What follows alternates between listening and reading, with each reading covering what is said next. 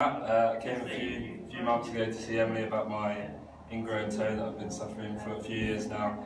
Um, had surgery on it last week and it's already recovering very well, so I'm very happy.